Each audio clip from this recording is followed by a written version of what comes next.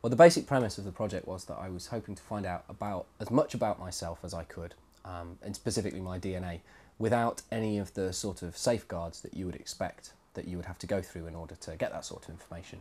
I didn't go through a doctor, I didn't register with a genetic counsellor. There was nobody getting me ready for what the results of my tests would be. My intention was to be out there in kind of the wilds of the internet with just me and my credit card. These companies had no idea who I was.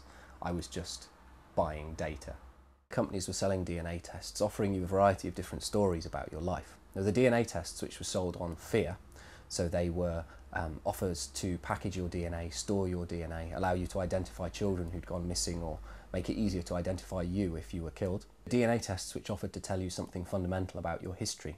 So they would tell you where your family came from, where your DNA came from, the great myths of your past. Tests which offered to predict the future for you. They would tell you when you would die, what illnesses you would get. And finally, there were the testers who were just offering you fun, essentially. They would make you a necklace or a t-shirt or a stained glass window or a tie based on some fairly unimportant bits of your DNA sequence. Most of the tests require that you take a cheek cell swab, so basically you get an oversized Q-tip and rub it quite hard on the inside of each cheek and underneath your tongue. You have to be quite harsh when you do it. It, it hurts. Your, your tongue and your cheeks will smart afterwards if you do it properly.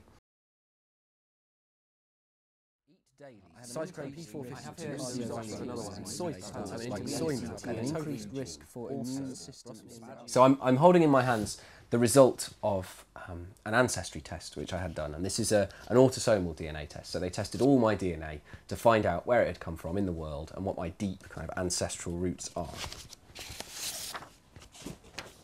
According to this, I'm 92% European, 6% East Asian, 2% Sub-Saharan African, and 0% Native American.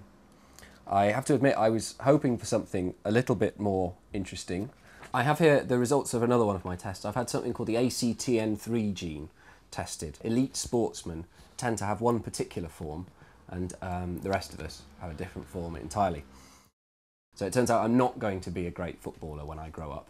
But on the other hand, if there's ever anything I need to do for a very long time, I have a lot of stamina. Have very low risk of glaucoma, thankfully. I do, however, have a very high risk of age-related macular degeneration. So there's a good chance that my eyes are going to pack in when I get older, which is not the best news I've had all day. The DNA test results that I've just had through are from a company looking at a variety of different genes for me. And one of the genes that they're telling me about is called ApoE.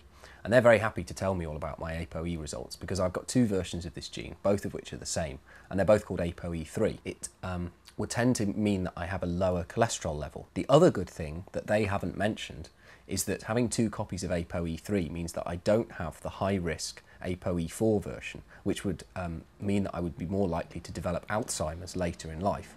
And the other great thing about this is that if I don't have any copies of it, that means neither of my parents has enough copies to have a high risk allele either. So I'm now reviewing another test. They've tested four genes which are involved in venous thrombosis. There is something slightly worrying in here. This is the first time that I've had the words potentially high in bold in capital letters in the section about my risk level. Uh, it turns out I have genetic variations that are believed to increase my risk over the general population by a factor of about 50. Thankfully, I'm not old, I'm not pregnant, I'm not using an oral contraceptive, uh, I'm not obese, I don't have diabetes, I've not had any recent major surgery. So uh, all of those factors I'm all right on, but the genetic factors I'm not doing very well on at all. A lot of these results, if I hadn't been a geneticist in the past, I would have opened them and probably been quite scared. Why on earth would anyone want to know all these things about themselves? I think I've found out quite a lot of little tidbits about myself, but nothing that's particularly going to change the way that I live my life. Uh, I'm not going to grow up to be a great sportsman, but then I'm 31 and working in science. I was never going to be a great sportsman. I might get fat when I get old. My eyes might not work. I might get heart disease. I think that's true of absolutely everybody. Um, I've learned some fairly meaningless things about myself. Supposedly I'm related to a woman who lived in Italy 15,000 years ago and um, supposedly I have the most European DNA of anyone you're likely to meet. But I don't think either of those is going to change the way that I live my life.